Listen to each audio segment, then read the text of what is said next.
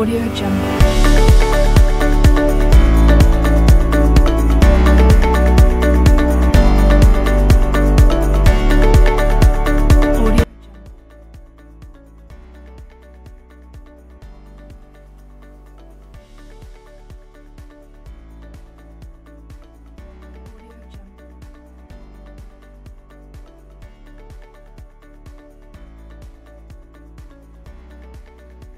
So let's start first with the customer booking website. As a customer, you can choose from different services that are being offered on the website, such as disinfection service, home cleaning, AC cleaning, sofa cleaning, pest control, etc. Below the list of services, you can see the floating banners. You can go to any particular section or category to which this banner is directed to by clicking on the banner. Below that, you can see a list of different services such as dining chair, plumber, one time cleaning, etc. You can choose it as per your choice. And at the bottom, you can see the vendor registration form. So, if you want to register as a vendor on this platform, you just have to click on this button.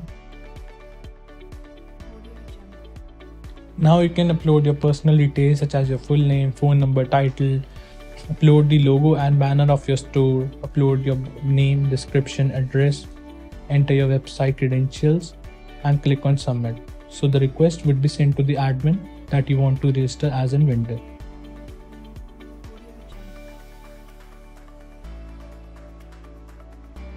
So starting with the dashboard, here you get a bird's eye view of the entire platform. Like you can see the total number of pending bookings, active bookings, number of bookings that have been completed or cancelled by the customers, total number of vendors, total number of service categories being offered on the platform, total number of banners promotions being run, total number of brands, etc. Below that, you can see the revenue and sales analytics to analyze your business and sales growth on weekly, monthly, or yearly basis, and also you can download it in different formats as well. At the bottom, you can see the revenue by location to figure out from what particular region you are getting more revenue and also you can see orders, top categories or what services are performing well. Now let's come to the order section. Here as an admin, you can see the total number of active bookings, ongoing or pending bookings, number of booking and cancellation requests generated by the users. Altogether as an admin, you can view the entire booking history and filter it for any particular time interval or vendor. Next come the vendors or the service providers that have registered on the agent or the service provider app. Here you can see the total number of professionals, total number of services they are offering, number of bookings they have and from the action button you can update their details like edit their service categories, add services, update their availability like whether they can auto accept order or not, update their commissions, add services or subcategories to their uh, section, add services, update their availability, set their commission percentage, etc. In order to add a vendor to the platform, you just have to click on the add button. Now you can upload the vendor logo, banner image, name, description, email, the service provider's phone number, website, and click on submit. Next comes the accounting section. Here you can view the accounting details for different categories like accounting details for orders or the total number of booking received, accounting details or the account uh, received for the loyalty cards, promo codes, taxes, vendors or service providers, and total number of payout requests that are generated by the service providers from the agent application.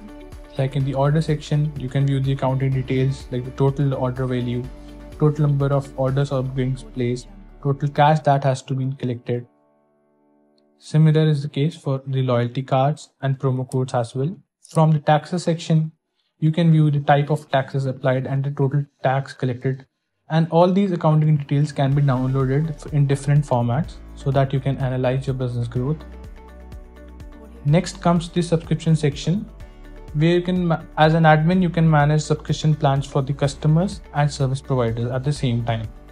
So for the customers you can see there are four different uh, subscription plans platinum plan gold plan silver plan and bronze plan you can edit the action for the same or you can add a new subscription plan by clicking on the add plan button here you can upload the uh, subscription plan title features the frequency whether it will be offered on weekly monthly or yearly basis the price, description and upload the image for it. Similarly, you can update the subscription plan for vendors. Coming to the customer section, here you can manage the data for all the customers or the users that have registered either on the customer application or the service provider application. So here you can view the name for the customers that have registered, their phone number, their wallet details, number of active orders or bookings they have. In order to add a new customer, you have to click on the add button. Now you can enter the customer name, his email, phone number, country, set the verification process whether the customer's profile would be verified using email or phone number and you can also add a profile image to the customer you can search for any particular customer from the search bar and you can download all the customer data in a CSV file by clicking on the export CSV button. Next comes the product review section. Here you can view the reviews given to different products or services that are being offered on the platform by the customers from the customer application. Next comes the settings section. Let's start with the profile. where as an admin, you can upload the general profile details such as the logo of the application, the shortcode that would connect the application to the dispatch panel, update the name, email, company address, contact number, company name, country of residence, time zone. Coming to the customize section, here as an admin, you can set the admin panel theme, whether you want the light theme or the dark theme you can view and update the date and time format, define and update the localization, set the primary language of the application and websites, add any additional language, and similar is the case for currency. You can add any currency. You can set the custom domain, link the social media profiles, and set the nomenclature. Coming to the styling section, as an admin, you can manage the styling or customize both the app and website from the admin panel itself. Like if you go to the app styling option you can set the font styles you can select the primary color and secondary color you can set the tab bar style or what icons would be displayed onto the app. Similarly you can select the home page style of the application. Likewise in the web styling you can set the fav icon you can set uh, whether you want to display the age restriction pop-up or not from here you can select whether you want to show the wish list icon, ratings, contact us icon, payments icon, navigation bar. Also you can select whether you want to show the dark mode or not, set the home page style and similarly you can manage everything that will be displayed on the website and application. Similarly, you can manage styling for everything that would be displayed on the application and website. Next come the CMS or the content management system. So here you can see pages. As an admin you can manage edit or update any any content that would be displayed on the privacy policy page terms and condition page or the vendor registration page.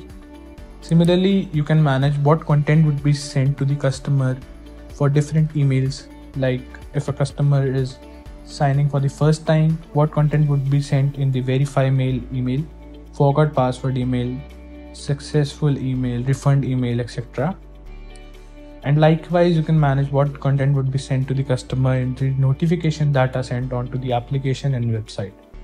Next comes the catalog section. Here as an admin you can manage the categories or the services that are being offered on the platform.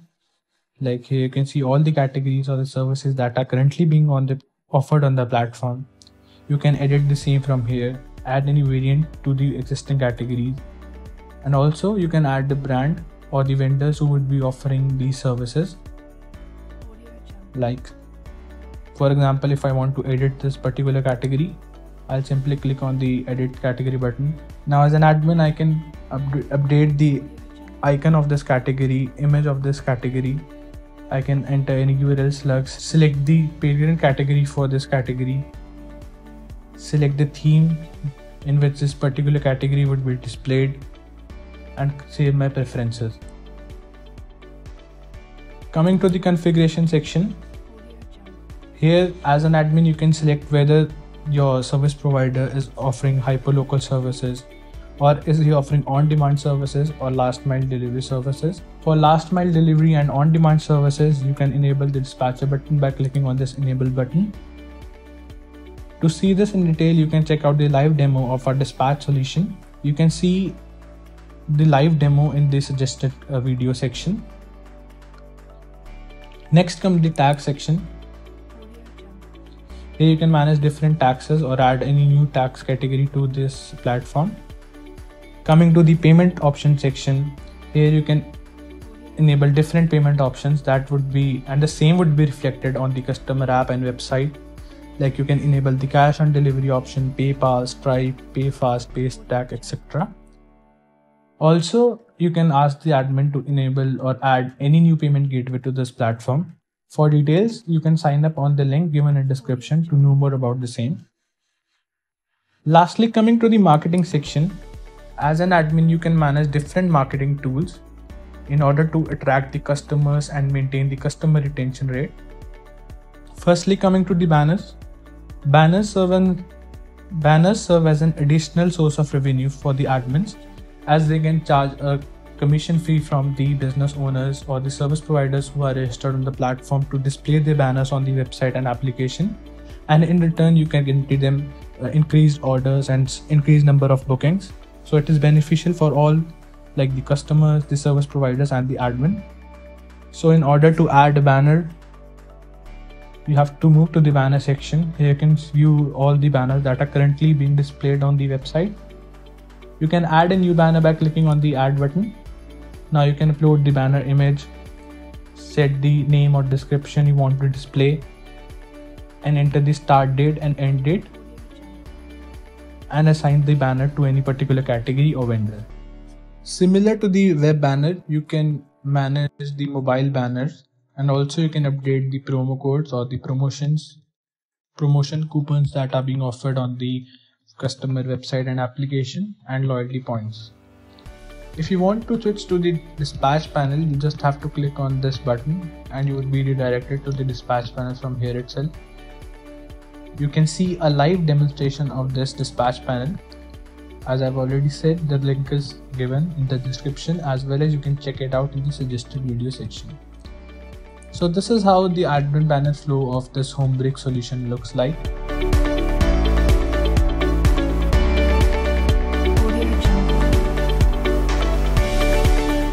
So now I'll show you the live demo of Homebrick customer application. First of all,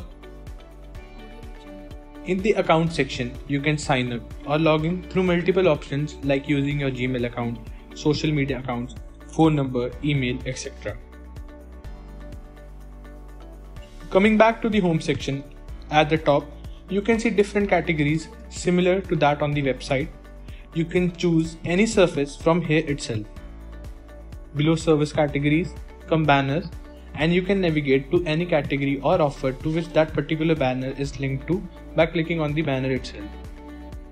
Next, you can explore all the vendors or surface professionals offering their services on the platform, view the featured services, newly added services, and on sale services. To book any service, just select it and click on Add Service.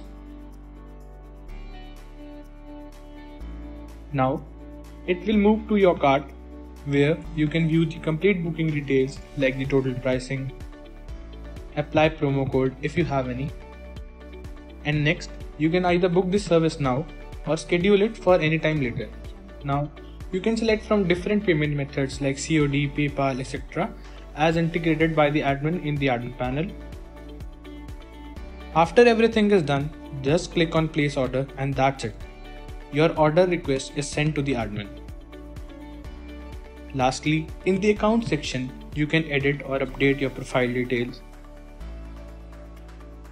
purchase subscription plans, view your loyalty points, manage your wallet, add services to the wish list, and change settings. This is how the customer application of this Homebrick Home Services app development solution works like.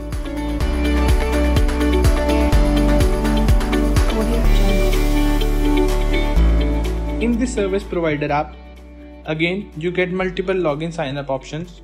Let me show you the sign up process as a service provider who wants to register on this platform. After you fill in the attributes, your approval request would be sent to the admin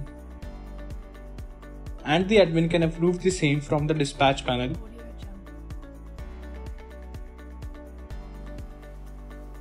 Once your request is approved, you can log in into your account after entering the OTP received. So once you have logged in into the application, you can mark your availability like whether you are currently available or not. Next, you can view your tasks and check the entire task history.